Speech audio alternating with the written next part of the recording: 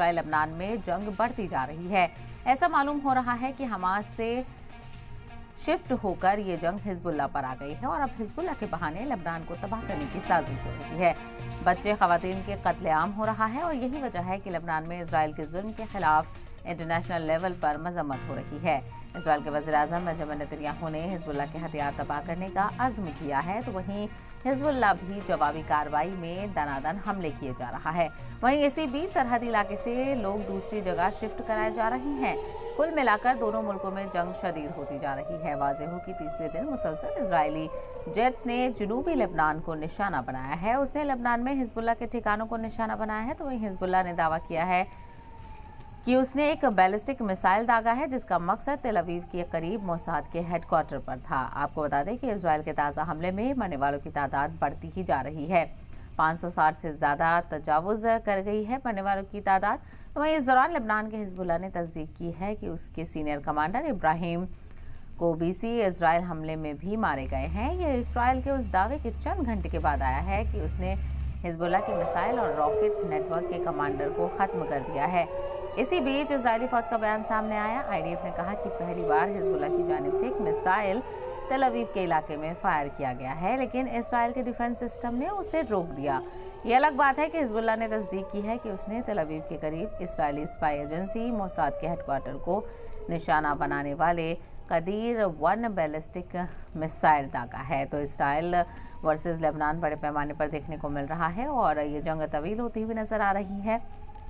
और इसके क्या असरात हैं, किस तरह से बैन अवी सतह पर इसका असर देखने को मिलेगा, इसको लेकर भी चर्चा करेंगे।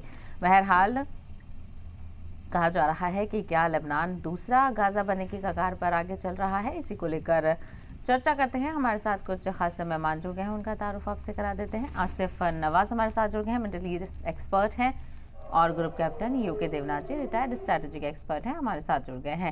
सबसे पहले आसिफ नवाजी आपसे शुरुआत करना चाहेंगे जिस तरह से कहा जा रहा है कि क्या लेबनान दूसरा गाजा बन रहा है? क्या इस सिमत में ये लड़ाई आगे बढ़ती हुई नज़र आएगी? जी मैम। हेलो। जी आपको आवाज़ मिल रही है? जी आ, आवाज़ आ रही है जी मैम। मैम ये अभी पिछले दो दिन पिछले तीन दिनों में इधर रिसेंट रिसेंट ईयर्स में सबसे इंटेंस एयर स्ट्राइक इसराइल ने किया है। In last three days around 1500 air strike carried out by Israel so ये आप कह सकते हैं कि गाज़ा की तरफ़, गाज़ा जैसी या उससे भी ज़्यादा इंटेंस एयर स्ट्राइक इसराइल की तरफ़ से इस वक्त लेबनान के उन ठिकानों पे हो रहा है जिनका इसराइल का दावा दावा है कि ये जो है जो हिजबुल्ला के जो मिलिटेंट्स हैं वो इन जगहों से ऑपरेट कर रहे हैं जबकि इसमें बहुत सारी ऐसी जगह हैं जो सिविलियंस की हैं जो अभी तक जो डेटा है वो ये बता रहा है कि अराउंड 600 जो कैजुअलिटीज हुई है उसमें बहुत सारे जो है सिविलियंस हैं हाँ। तो ये ये वॉर जो है गाजा से भी ज़्यादा कैटेस्ट्रॉफ होगी क्योंकि गाजा से ज़्यादा पॉपुलेशन पूरे लेबनान की है। और लेबनान में भी कुछ पॉपुलेशन कुछ उसी टाइप की, बहुत ज़्यादा डेंस पॉपुलेशन है।